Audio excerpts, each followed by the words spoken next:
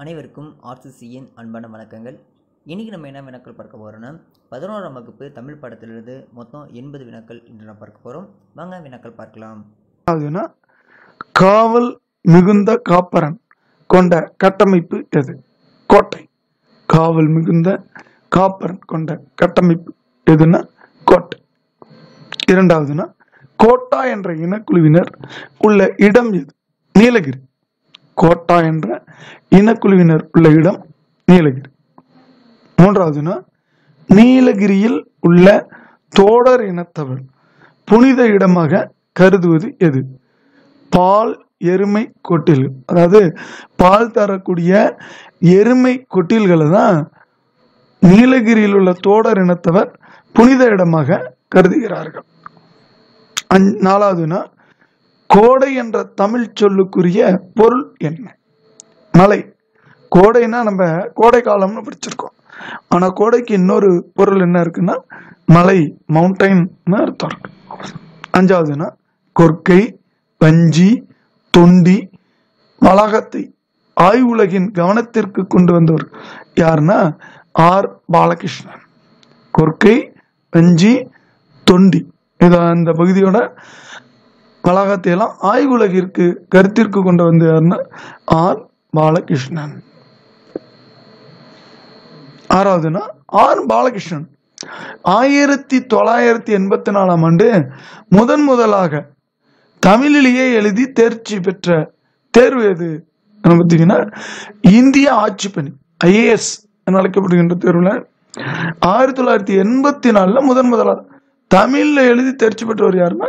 R. Balakrishnan. ஏழாவதுனா திராவிடர்களை மலைநில மனிதர்கள் என்று அழைத்தவர் யாருன்னா? கமில் சுவலபில் திராவிடர்களை மலைநில மனிதர்கள் என்று அழைத்தவர் யாருன்னா? கமில் சுவலபில் எட்டாவதுனா சேசோன் மேய மைவரை உலகம் என்று உரைக்கும் நூல் இது. தொல்காப்பியம். சேசோன் மேய மைவரை உலகம் என்று கூறும் நூல் தொல்காப்பியம். ஒன்பதாவதுனா விண்பொரு தெடுவரை குறிஞ்சி கிழவ என்கின்ற நூல் எதுனா திருமுருக ஆற்றுப்படை விண்பொரு தெடுவரை குறிஞ்சி கிழவ என்ற நூல் எதுன்னா திருமுருக ஆற்றுப்படை அடுத்தது பத்தாவதுன்னா வரை என்னும் தமிழ் சொல்லின் பொருள்கள். ஒரு வார்த்தைக்கு பல பொருள்களுக்கு இருக்கும். அதுபோல் வரைங்கிறதுக்கு கோடு மலை சிகரம் கரை விளிம்பு எல்லை நுனி. இத்தனை பொருள்கள்ல இந்த ஒரு வரைங்கிற வார்த்தை வரும். என்னன்னா வரைங்கிற அர்த்தம் கோடு மலை சிகரம் கரை விளிம்பு எல்லை நுனி. இத்தனை பொருளை தரக்கூடியதுதான் இந்த வரை. அடுத்த வினா பதினோராவது வினா. மாசினம் என்பதன் பொருள். பாம்பு. மாசினம்னா பாம்பு. பன்னெண்டாவதுனா மதுரை கவி என்பதன் பொருள் என்ன? இனிமை பொருந்திய கவி மாலை. மதுரை கவி இனிமை பொருந்திய கவி மாலைன்னு அர்த்தம். பதிமூன்றாவதுனா காவடி சிந்துக்கு தந்தை என்று அழைக்கப்படுவர் யார்? அண்ணாமலையா காவடி சிந்துக்கு தந்தை என்று அழைக்கப்படுவர் யாருன்னா? அண்ணாமலையார். பதினாலாவதுனா தமிழில் முதன் முதலில் வண்ண சிந்து பாடியவர் யார்? அண்ணாமலையார். தமிழ்ல முதன் முதலில் வண்ண சிந்து பாடியவர் யாருன்னா? அண்ணாமலையார். பதினஞ்சாவதுனா கருவை மும்மணி கோவை கோமதி அந்தாதி போன்ற நூல்களை இயற்றியவர் யாருன்னா அண்ணாமலையார். கருவை மும்மணி கோவை கோமதி அந்தாதி போன்ற நூல்களை இயற்றியவர் யாருன்னா அண்ணாமலையார். பதினாறாவதுனா குரவல்லி பதம்பணி நேசன் யார்? முருகன். குரவல்லி பதம்பணி நேசன் என்று அழைக்கப்பட்டவர் யாருன்னா முருகன். பதினேழாவதுனா கழுகாசல பதியில் கோயில் கொண்டுள்ளவர் யார்? முருகன். கழுகாச பதியில் கோயில் கொண்டுள்ளவன் யாருன்னா முருகன். பதினெட்டாவதுனா நுபுரத்து துத்துணி வெடிக்கும் இவ்வுலகில் நுரபுரம் என்ற சொல் எதை குறிக்கும்னா சிலம்பு. நுரபுரம் என்பது சிலம்பு குறிக்கும். பத்தொன்பதாவதுனா இஞ்சி என்பதன் பொருள் என்ன? மதில். இஞ்சி. இஞ்சினா நம்ம என்ன நினைச்சிட்டு இருக்கோம்? அந்த உணவுல சேர்க்கக்கூடிய இஞ்சி என்ன நினைச்சிருக்கோம் இஞ்சிங்கிறதுக்கு தமிழ்ல ஒரு நல்ல பொருள் மற்றொன்று இருக்கு மதில். இருபதாவது நாள் செகமெச்சிய மதுரகவி யார்? அண்ணாமலையார். ஜெகமெச்சிய மதுரகவி யாருன்னா அண்ணாமலையார். இருபத்தி ஓராவதுன்னா குறுந்தொகைக்கு கடவுள் வாழ்த்து பாடியவர் யார்? பாரதம் பாடிய பெருந்தேவனார் குறுந்தொகைக்கு கடவுள் வாழ்த்து பாடியவர் யாருன்னா பாரதம் பாடிய பெருந்தேவனார் இருபத்தி ரெண்டாவதுனா அகத்திணை இலக்கணத்தின் இலக்கியமாக விளங்குவது எதுனா குறுந்தொகை. அகத்திணை இலக்கணத்தின் இலக்கியமாக விளங்குவது எதுனா குறுந்தொகை. இருபத்தி மூணாவதுனா தண்டுடை கையார். யார்? முதியவர்கள். தண்டுடை கையார். யாருன்னா முதியவர். இந்த கம்பு வச்சு நடக்கிறாங்களோ அதை வச்சுக்கோங்க. தண்டுடைய கையுடையவர்னா தண்டுன்னா இந்த மரத்தோட குச்சி மரத்தண்டு கையில் வச்சிருக்காங்க. அவங்கள முதியவர். இருபத்தி நாலாவது நாள். குறுந்தொகை பாடல்களின் அடி வரையறை. நாலு அடி முதல் எட்டு அடி வரை இருக்கும். அதுதான் குறுந்தொகை. இருபத்தி அஞ்சாவதுனா சங்கத்தொகை. நூல்களில் வெள்ளி வீதியார் பாடியது எத்தனை பாடல்கள்னா? பதிமூணு பாடல்கள். சங்கத்தொகை நூல்களில் வெள்ளி வீதியார் என்கிற அம்மையார் பாடிய பாடல்கள் எத்தனைனா பதிமூன்று பாடல்கள். இருபத்தி ஆறாவது வினா தமிழரின் வாழ்வியல் கருவூலம். புறநானூறு. ஒரு முக்கியமான வினா இது. தமிழரின் வாழ்வியல் கருவூலம். புறநானூறு. இருபத்தி ஏழாவது துஞ்சலும் இலர் என்பதில் துஞ்சல் என்பதன் பொருள் என்ன? சோம்பல். துஞ்சலும் இலர் என்பதுல துஞ்சல் என்பதன் பொருள் என்னன்னா சோம்பல். இருபத்தி எட்டாவது துன்பப்படுபவர் யார்? நாவை காக்காதவர் துன்பப்படுபவர். துன்பப்படுவர் யாருன்னா? நாவை காக்காதவர்.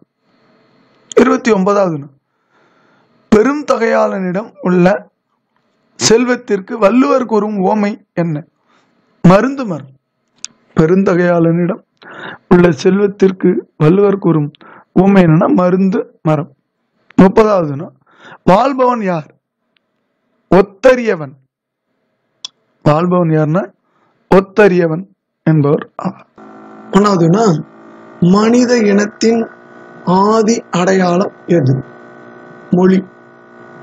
மனித இனத்தின் ஆதி அடையாளம் மொழி.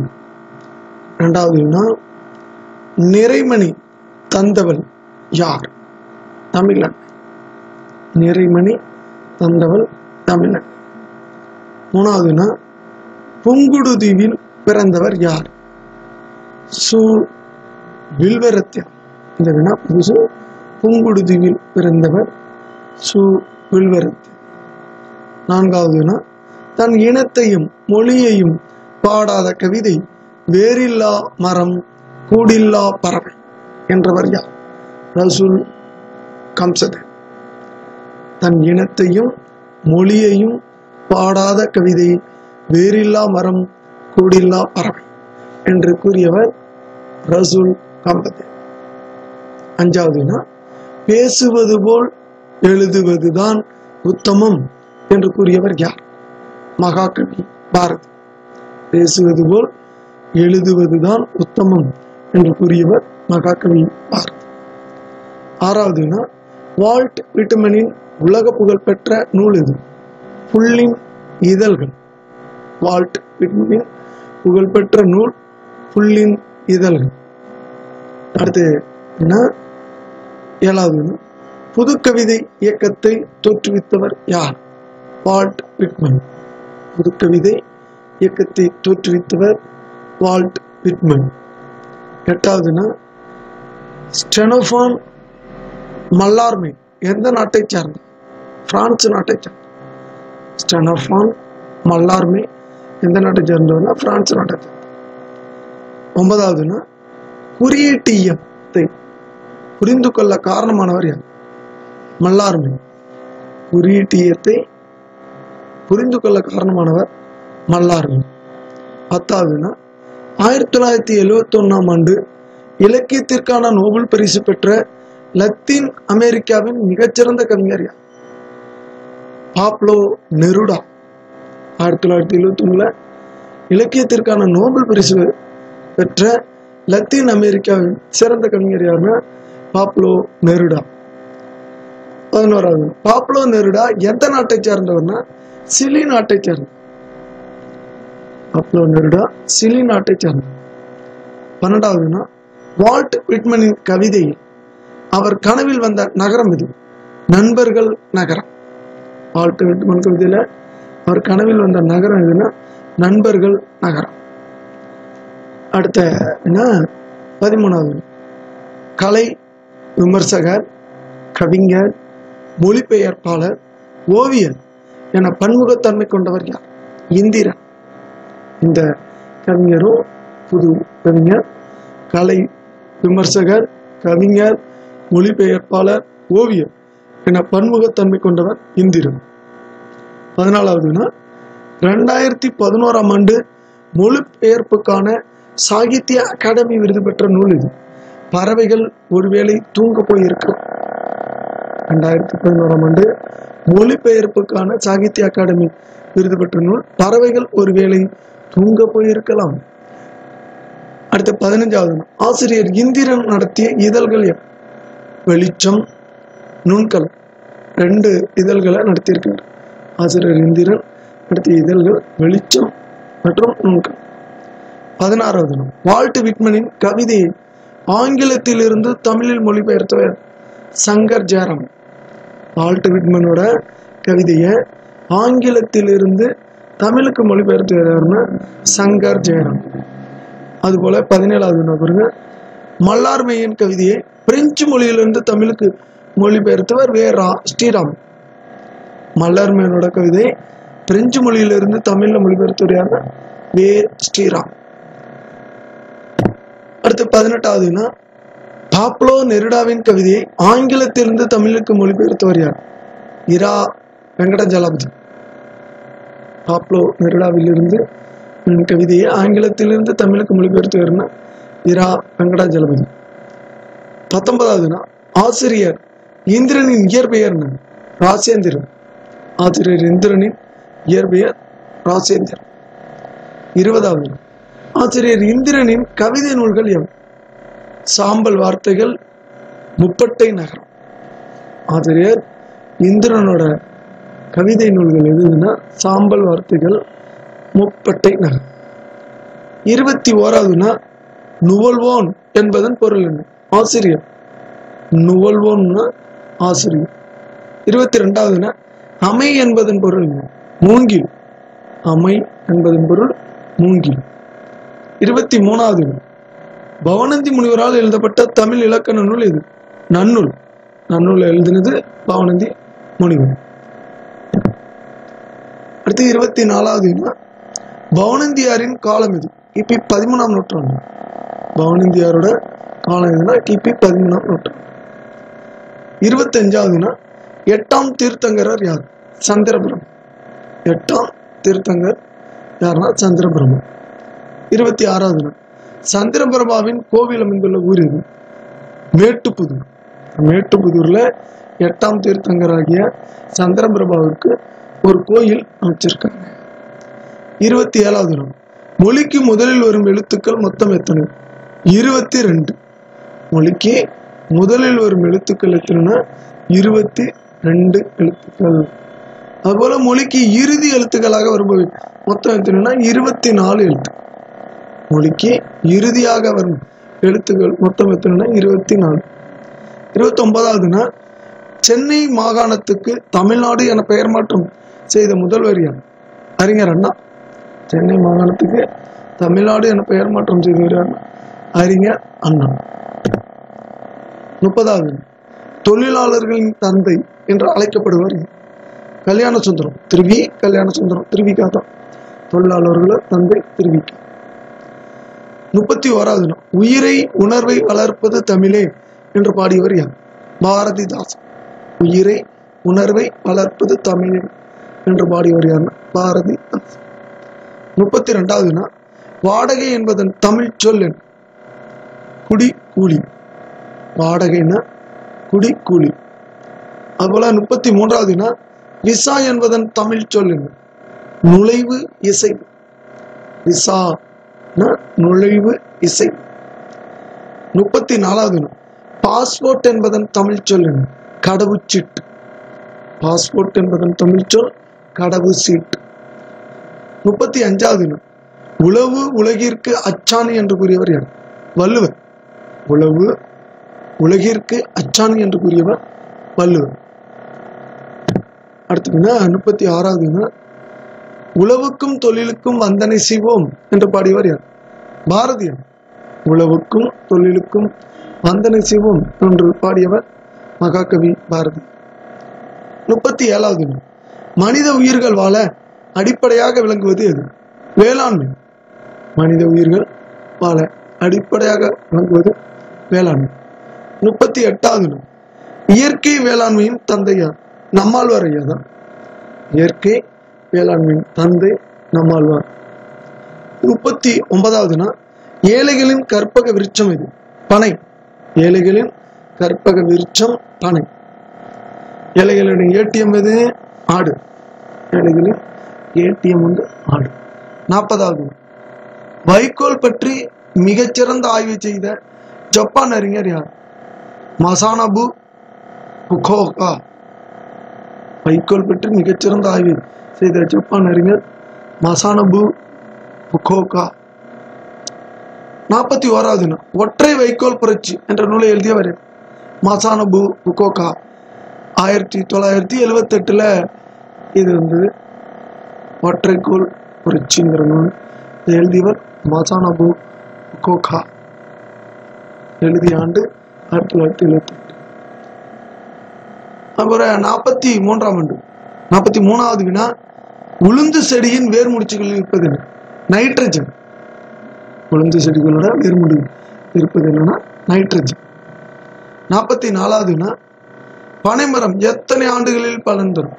பதினோரு ஆண்டுகள் பனைமரம் எத்தனை ஆண்டுகளில் பலன் தரும்னா பதினோரு ஆண்டுகள்ல நாற்பத்தி அஞ்சாவதுனா தமிழ்நாட்டின் மாநில மரம் எது? பனைமரம்.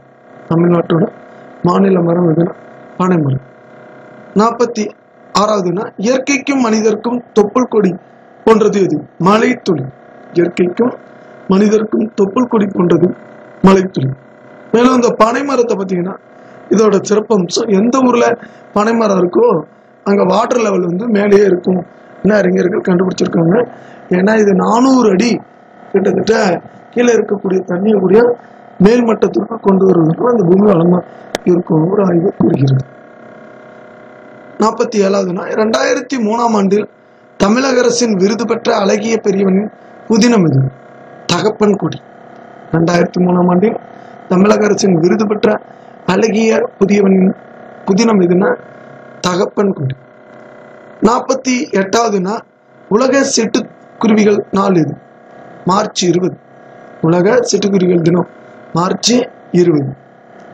நாற்பத்தி ஒன்பதாவது எத்திலிக் குருவிகள் கவிதையின் ஆசிரியர் அழகிய பிரிவு எத்திலிக் குருவிகள் கவிதையின் ஆசிரியர்னா அழகிய பிரிவு இந்த எத்திலி எத்திலி என்பது என்னதுன்னா என்பதன் பொருள் என்னன்னா இருப்பிடம் என்று அலைதல் எத்திலினா என்பதன் பொருள் என்னன்னா இருப்பிடம் என்று அலையுதல்